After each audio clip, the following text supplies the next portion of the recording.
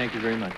As Tom said a little earlier, uh, I have been a writer on the show since it began, and I, I've really loved working on the show because the people are beautiful and talented, and they have a lot of integrity, and they do have a sense of responsibility about what they present to you as entertainment.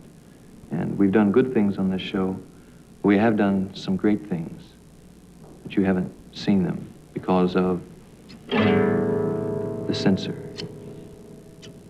The censor sits somewhere between the scenes to be seen and the television sets with his scissor purpose poised, watching the human stuff that will sizzle through the magic wires and light up like welding shops the ho-hum rooms of America. And with the kindergarten arts and crafts concept of moral responsibility, snips out the rough talk, the unpopular opinion, or anything with teeth, and renders a pattern of ideas full of holes, a doily for your mind.